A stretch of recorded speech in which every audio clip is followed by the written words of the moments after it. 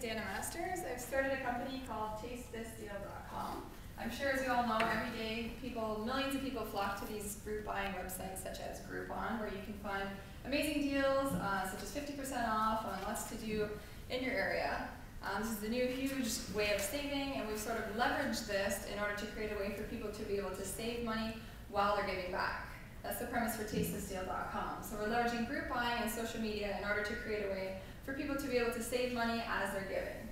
Um, TasteThisDeal.com donates portions from every deal that we sell on our site to local charities. So we'll be featuring a charity each week, and portions from all the deals sold that week go directly to that cause.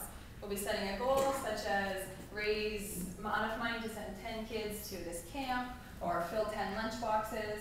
And through that, um, all the money we raise that week will go to that cause.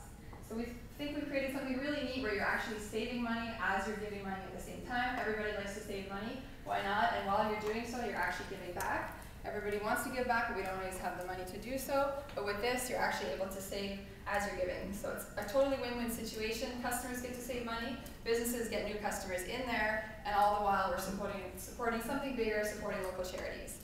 Um, we also differentiate ourselves.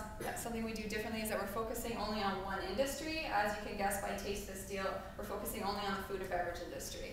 So instead of getting all these deals that are unrelated to your interest, you know what you're going to get from our website. It might not always be a restaurant, so if you don't go out to eat a lot, we still have butchers, bakeries, but you know what you're going to get. We're focused on that one industry. Everybody eats. the $60 billion a year industry. And by doing that, we think we've also enabled ourselves to be able to make something bigger than just a deal site, where we're going to have people can post their promos, specials of the day, um, a news and events section where you can come and see what's going on. So it's more than just a deal site. We can build from that. We've just started this week. We're really excited about it. We hope you can check out TasteThisDeal.com where you can save money, eat well, and help others.